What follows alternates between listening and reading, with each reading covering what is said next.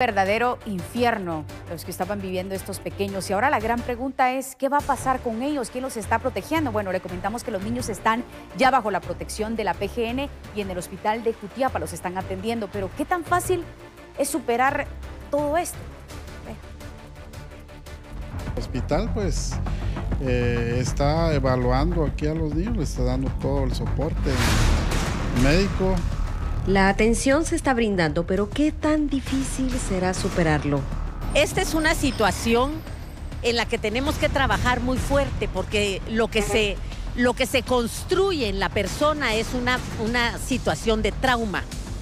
Entonces esa situación de trauma hace que los problemas se vuelvan muy, muy fuertes en la construcción de la personalidad y por supuesto en los, en los tipos de conductas que la persona va a ir generando a lo largo de su vida si no recibe una ayuda. Por ello, hacen un llamado a todas las mujeres de Muyuta, Jutiapa, que denuncien este tipo de hechos. Que no se dejen, eh, que no sean víctimas, pues que denuncien estos casos, porque la verdad es que casos como este se dan en las áreas rurales, en donde la gente no tiene